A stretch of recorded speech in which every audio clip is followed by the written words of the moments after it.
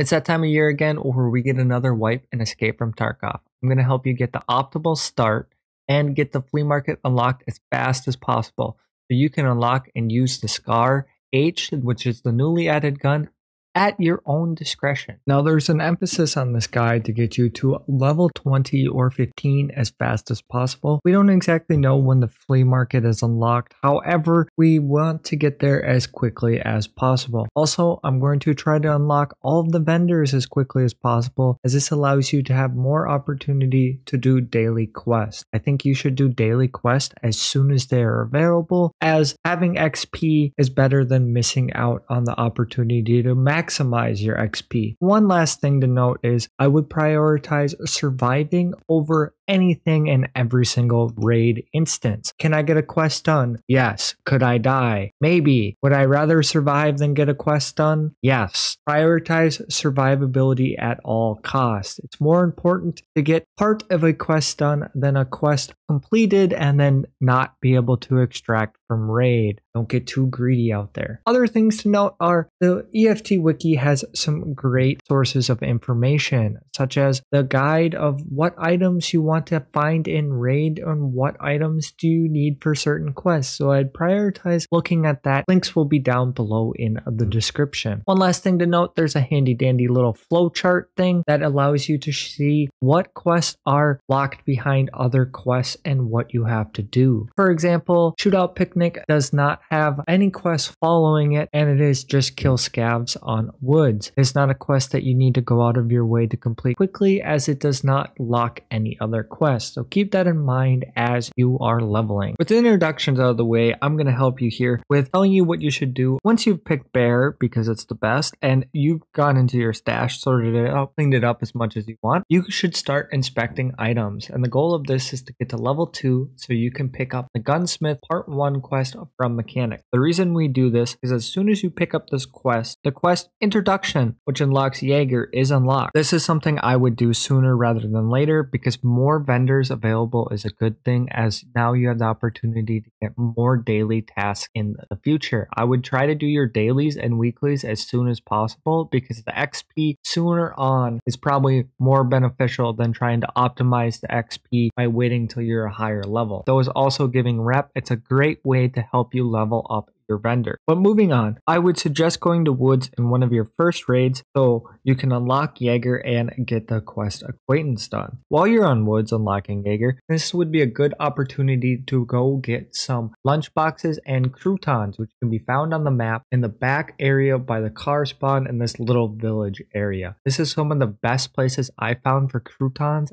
and for lunch boxes and there's lots of good food spawns here. So if you need food early on in wipe this is a good place to go. Other places you might want to think about going early are interchange because you're going to need some elite pliers and the back of Goshan has lots of food spawns especially the Tushonka, which is the big, you know, meaty beef stew, which you're going to need Jaeger. Now, a lot of people are going on the customs, and that is something you can do. But, you know, with a lot of traffic going on customs, I may suggest going to interchange while you're picking up some of your items for gunsmith tests. You can also look for gas analyzers, which spawn a lot of times on the areas in interchange and in stashes. And I think it's generally a less contested map early on in wipe. Now, once you've done the quest debut for Prapor, which is, you know, just hand in the two shotguns, which if you unlock Jaeger, you can buy straight from Jaeger, and kill five scavs on customs, this opens up the majority of the Prapor quest line, which you can use to propel you forward to get to about level 5. That's the goal here. The reason we want to do this is because we want to get Skier up as soon as possible because he unlocks Peacekeeper. Why do we want Peacekeeper unlocked? You guessed it. Peacekeeper's probably selling the Scar, so we want to get the Scar as fast as possible. So we are going to focus on supplier extortion, then what's on the flash drive, and then go on the golden swag, friend from the west part one and part two. Once we have part two done, you have Skier unlocked. But the most important part of all of this is the flash drives. Now, this is the hardest part Know, the the first two quests from Skier are pretty easily. Find a TOZ and 3 end armor and raid. You know, just kill scavs until you find the stuff. Once you have the stuff, prioritize out. But the raids, you gotta find two of them in raid, which can be kind of hard. My suggestion to you is safes in the back of PCs. Now, safes can be pretty hard to come by early on in wipe if you don't have a lot of keys. However, if you do get keys to safes, I suggest dorms because it's not going to be super contested at this time if you get keys and searching as many jackets as possible to get these keys. But when you have the opportunity to go in and find flash drives and safes, Flash drives and safes is probably the go-to method I found early on in a wipe. The rest of the quests from Skier pretty simple. A couple key items to note that you might want to keep for your hideout because it makes your life easier, especially if you're having trouble finding Salewas and Wade. Raid. Wade, we're finding Salewas and Wade is a syringe and a back of meds. Now, a lot of quests are on customs, so while you're in customs, you can go to this crack house area or in the top of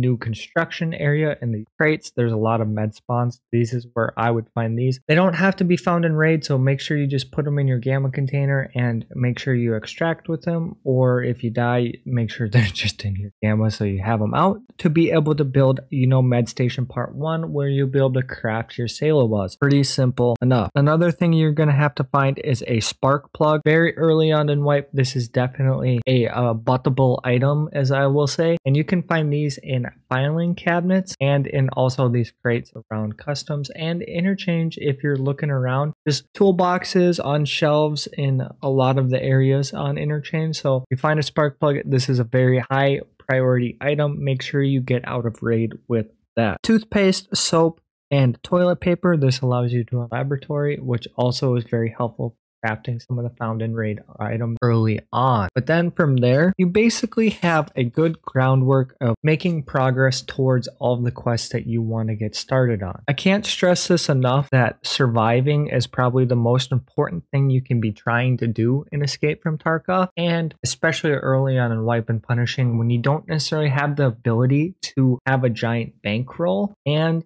you know, go in and out of raid quickly. There's going to be a lot of times where you might have to just run scav gear. Use your scavs as opportunity to find some of these found in raid items. I would scav almost every other raid as often as possible with this scav, especially looking for some of these items. On your PMC, oh, you don't want to go to a high contested area to go find a gas analyzer and interchange? On your scav, now's your opportunity to go look. Even if you can't get a quest done, but you found a gas analyzer, even if you don't have the quest quest unlocked, that is still a win. Once you get to about the level 10 area, the idea of there's an optimal path of quests you should be doing kind of goes out the window. Basically, make sure you try to stack up as much as quests in one area as possible. If you have four quests on woods, go to woods. If you have four on interchange, go to interchange. If you have four on customs, go to customs. Customs is going to be the most contested one. If you have no idea what you should do and you only have one quest on one area, I would prioritize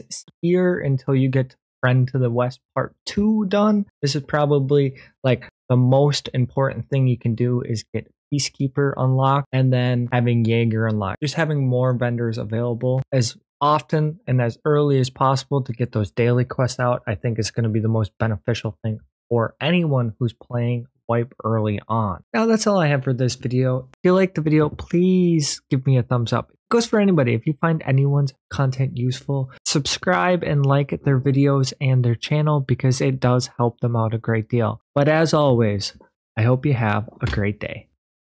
It's that time of year again where we get another wipe and escape from Tarkov, and I'm going to help you get the optimal start progress you through the and get um, that time of year again and escape from Tarkov where we get another wipe. I'm to help you get an optimal spark. What is wrong with me? Hello? Is there, what's wrong with me? Okay?